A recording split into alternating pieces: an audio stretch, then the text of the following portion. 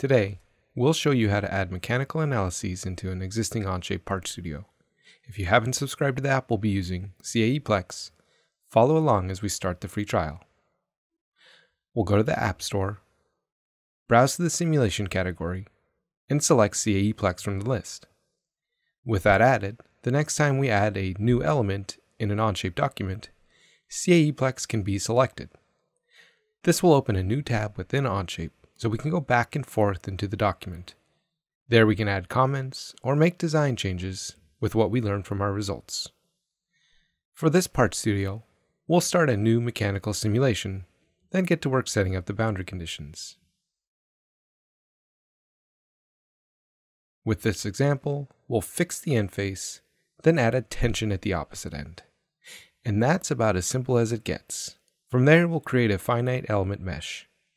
For a first pass analysis, we'll keep it nice and coarse so that our calculations, which we'll solve in the next step, can complete rapidly. Once the mesh has been completed and the simulation solved, we can start to pull information from the results, such as stresses and displacements. While it's solving, we're free to access other tabs to complete other tasks. But now comes the fun part, post-processing. Here we can warp the displacements to gain a better understanding of how the part deforms, and we can see the von Mises stress distribution.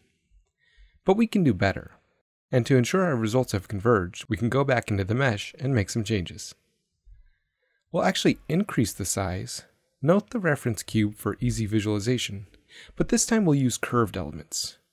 Change the surface mesh algorithm, and use the dropdown to enable high order optimization. This new mesh will be far better than the first, but there's still more we can do such as local refinement, a great way to ensure better results in the areas that matter most. In this case, we're most interested in what happens around this hole, so we'll use this face as a reference. We'll inspect the new mesh before starting the solve, and again, we're not locked into watching and waiting for this solve to complete. With the new and improved results back, we can resume post-processing. Turning off the grid might make it easier to see the stress distribution but if results at specific areas are needed, a probe is optimal. Locating the probe is simple thanks to the interactive nature and feedback.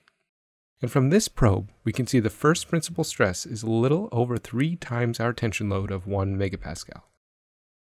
This helps verify these results, because for an infinite plate, the result would be exactly 3. I'll just have to keep refining that mesh and making the plate infinitely long.